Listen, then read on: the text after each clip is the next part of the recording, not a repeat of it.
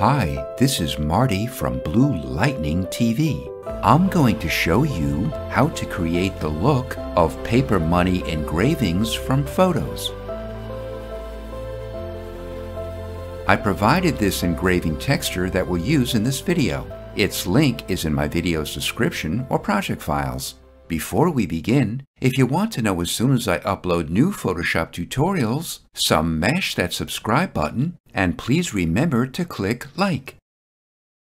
Open a photo you'd like to use for this project. I downloaded this one from Shutterstock. The first step is to separate our subject from its background by making a selection around the subject. There are many ways to do this depending on the characteristics of the photo, as well as the version of Photoshop you're using. If your subject contains dark tones that are very close to the background as in this example, I'll show you a tip that'll make it easier for Photoshop to differentiate the subject from the background. If your photo doesn't have this issue, you can just skip the next few steps. Make a copy of the photo by pressing Ctrl or Command J. Open Levels by pressing Ctrl or Command L. Drag the input highlights to the left until you can clearly see the darkest tones of your subject against the background. Open the Quick Selection tool. If you're using CC 2018 or later, click the Select Subject button, which automatically selects your subject. On earlier versions, drag the tool of your subject to select it. To remove areas of the selection, press and hold Alt or Option as you drag over those areas. Now that we have the selection, we can drag the brighter layer to the trash. If there are soft or feathery areas on your subject, I'll show you how to refine them. Go to Select. In versions earlier than CC 2015.5, click Refine Edge. In later versions, click Select and Mask. If you prefer to use Refine Edge, Shift-click Select and Mask. I did in-depth tutorials on both filters, so if you want to watch them, I provided their links as well. Check Smart Radius. This detects smooth and hard edges. To make your brush bigger or smaller, make sure the caps lock key is off and press the right or left bracket key on your keyboard. Brush over the edge of soft or feathery areas. Feather it approximately 2 pixels and shift the edge in approximately minus 12%.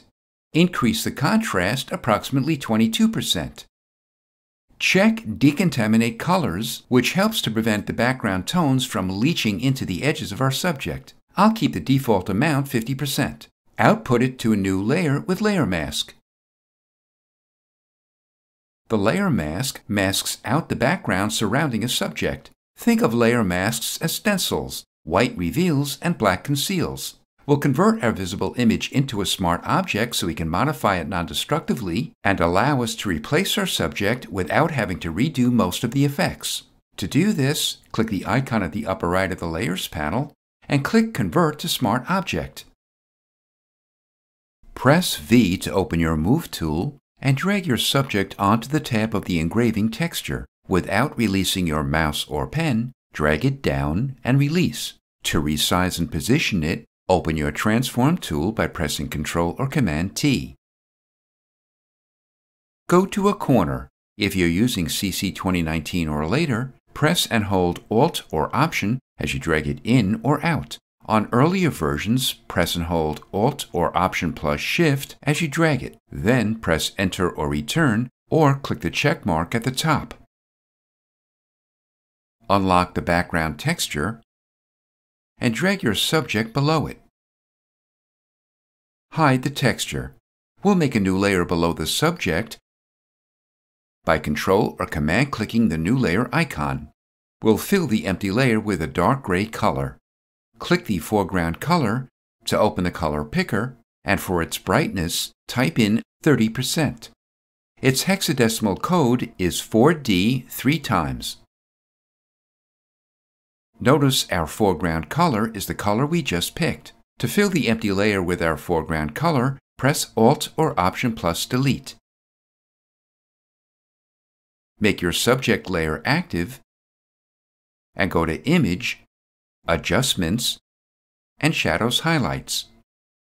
For now, let's keep its default shadows 35%. This basically brings out more details in the shadows of our subject. Go to Filter, Blur, and Surface Blur. This basically blurs an image while preserving its edges. Make the radius 40 pixels and the threshold 10 levels. Radius specifies the size of the area sample for the blur, and threshold determines how much the tonal values of neighboring pixels must be before they become part of the blur. If we click the preview window on and off, we can see the before and after. Make the texture visible and active and change its blend mode to hard light. Click the adjustment layer icon and click Gradient Map. Click the gradient bar to open the gradient editor. Click the lower left stop and the color box. In the hexadecimal field, type in 2, 3, 4, E, 2, F. Then click OK or press Enter or Return. Click the lower right stop, the color box, and type in D, 6, D, B, D, A. Then press Enter or Return twice. Click the adjustment layer icon again and click Levels. This panel shows a histogram of our image's tonal range. It allows us to adjust the intensity levels of the shadows, midtones, and highlights. For the input shadows, type in 160, the input midtones 1.5, and the input highlights 210. Make your subject active and convert it into a smart object. Go back to Image, Adjustments, and Shadows Highlights. Click Show More Options to open the entire window. It's important to note that every photo has its own characteristics of brightness and contrast within their shadows, midtones, and highlights, so the amounts I'll be using for this image may not work well for yours. Feel free to use whatever amounts look best for your image. I'll make the shadows amount and the tone 70% each, and the radius 180 pixels. I'll make the highlights amount 5, the tone 50, and the radius 30.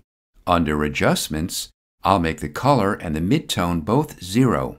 I'll make the black clip 1% and keep the white clip 0.01%. The black and white clips basically allow us to push the darkest and lightest tones to produce an image with greater contrast. This is Marty from Blue Lightning TV. Thanks for watching.